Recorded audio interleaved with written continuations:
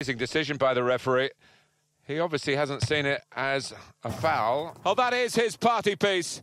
Putting it in the net direct from a free kick. Brilliantly done.